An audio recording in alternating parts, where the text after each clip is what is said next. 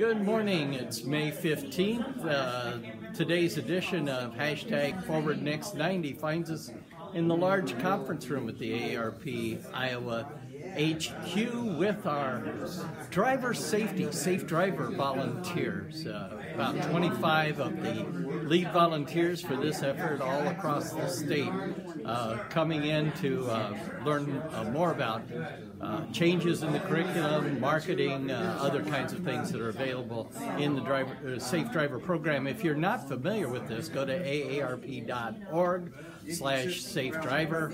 And you'll find direct links to the online course as well as a way to search to find uh, a course, a classroom course near you. It's uh, 18 days out from my What's Next, and uh, we're very, very excited. Tomorrow we kick off uh, uh, the last half or the second half of our 16 city tour for voter activation and voter engagement.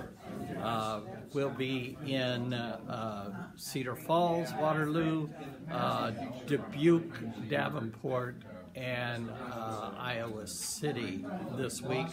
And then the following week, uh, we have Des Moines, Burlington, and Ottumwa. So I hope that uh, you'll uh, go to aarp.org slash IA, find out where we are in a city near you, and join us either for the voter activation or uh, go and look for a driver safety program near you and uh, consider engaging uh, with AARP.